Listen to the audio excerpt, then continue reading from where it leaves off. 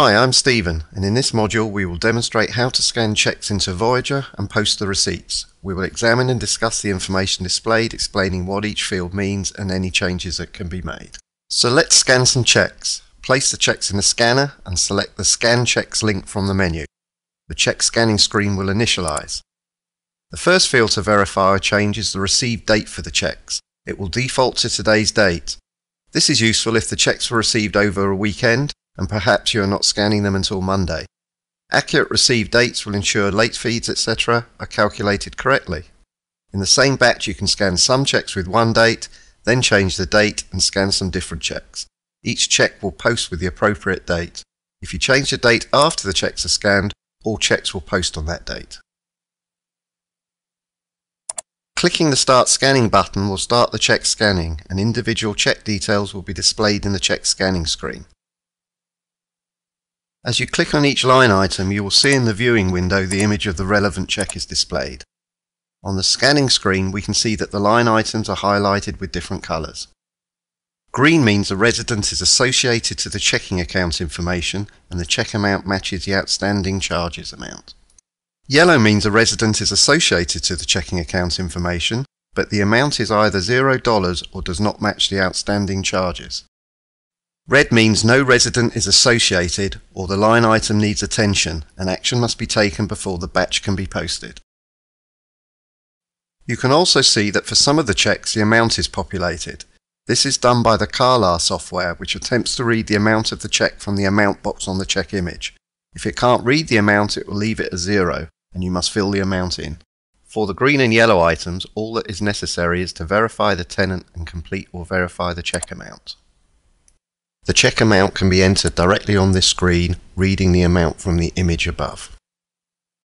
For the red line items, we need to understand what input is needed. Scroll to the right and look at the comment column.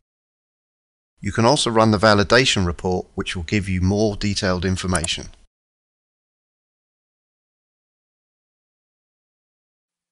Normally all we need to do is associate the check with a tenant and complete the check type and the amount field if necessary.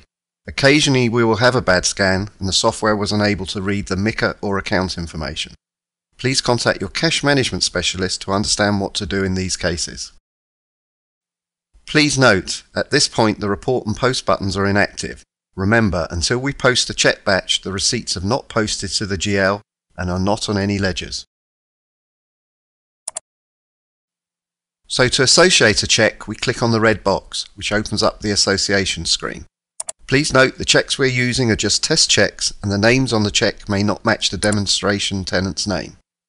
We complete the tenant details using the lookup links on the left as we normally do elsewhere in Voyager. Then press Enter Detail. This will bring up a screen that is the same as a normal receipt payment screen. We select the document type for this check. It is important to get this correct because you do not want a money order, bill pay or cashier's check account information associated with a single tenant. For example, all money orders purchased from the gas station near the apartment complex will have the same account and routing information, only the check number will change. So each time a money order is scanned, you will have to select the tenant who presented it. If commercial or personal check is selected, this will permanently associate that account with that single resident because it will be only that tenant who would present this check. Once a check is associated as a personal or commercial check for that tenant, the next time a check is seen from this account, Voyager will automatically select the tenant and the line item will be green or yellow for the future checks. You can override the receive date for any check by editing this field. So having selected the correct tenant and document type, we now need to complete the amount field. We can see the amount on the check image to the right and tab or click out of that field. The amount will apply to the unpaid charges following the normal Voyager payment order rules. You can of course erase the distribution and apply the amounts manually if you want to pay off specific charges with this check. When completed, press the Save button and this will return to the main scanning screen. Complete all the other checks in the same way. You can save your progress by using the Save button at the bottom of the screen. If you find a check that scanned badly or is incorrect, you can tick the Delete Check button. Pressing Save will remove that check from this batch, allowing it to be rescanned at another time. Using the Delete All check button will, as the name suggests, delete every check in this batch. When all is completed, you can then close or post the batch. You can confirm this by the fact that the report and post buttons have become active or by looking at the Validate Report tab, which now should be empty.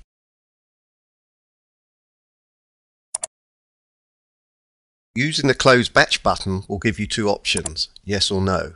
Yes will lock the batch and no further scanning or changes to this batch can be made. No will just close the screen and leave the batch in attention required. Note at the bottom of the screen there is the number of checks scanned and a batch total. It is encouraged that before scanning checks, a manual tape calculation is run, and these values should match that result. To post a batch, which will post the receipts to the general ledger, run the report first, as is normal in Voyager. Again, this should show the expected totals, and then post.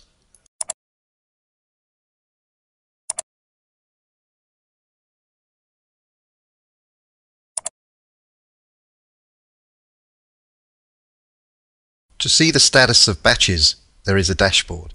This is explained in the next video, the CheckScan dashboard.